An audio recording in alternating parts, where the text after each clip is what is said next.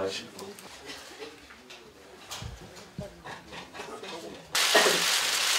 5.16은 쿠데타라고 생각하시는 거죠. 그 부분에 대해서 제 인식을 좀 말씀드려도 되겠습니까? 아니 그 용어상으로 봤을 때 용어에 관해서는 뭐 깊이 생각해보지 않았습니다. 교과서에 5.16은 군사정변이고 쿠데타라고 되어 있는데 저희한테 주신 제가 5.16 쿠데타에 대한 견해를 물었더니 쿠데타라는 단어는 끝내 기입하지 않으시고 그냥 5.16에 이렇게만 쓰셨더라고요. 그래서 다시 한번 물어보는 겁니다. 5.16은 교과서에 나온 대로 쿠데타라고 생각하십니까? 저 죄송하지만 좀그 교과서를 보지 못했습니다. 저는 그 용어 5.16을 규정하는 용어 큰 굉장한 뭐 생각을 안 개념 그러니까 쿠데타라는 단어를 끝내 사용하기는 좀 껄끄러우십니까?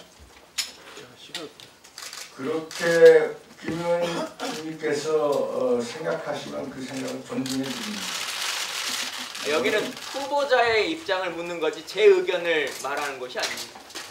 제가 존중해 드리겠습니다. 그 말, 그 이- 저는 그 나름대로 그 부분에 대한 제 인식이 있습니다.